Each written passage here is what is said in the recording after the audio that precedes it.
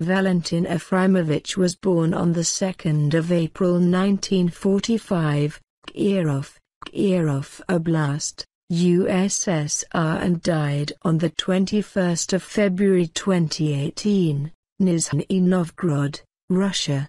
He was a Soviet, Russian and Mexican mathematician. He made contributions to dynamical systems theory, qualitative theory of ordinary differential equations, bifurcation theory, concept of attractor, strange attractors, space-time chaos, mathematical models of non-equilibrium media and biological systems, traveling waves in lattices, complexity of orbits and dimension-like characteristics in dynamical systems.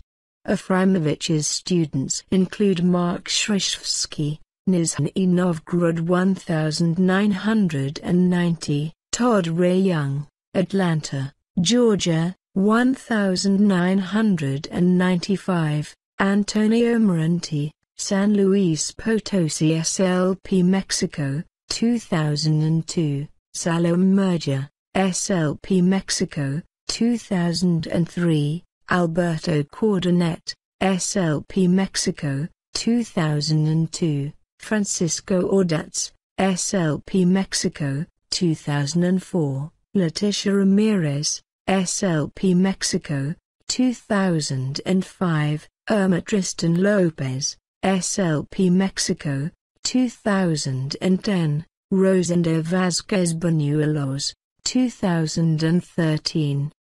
He died at 72 years old.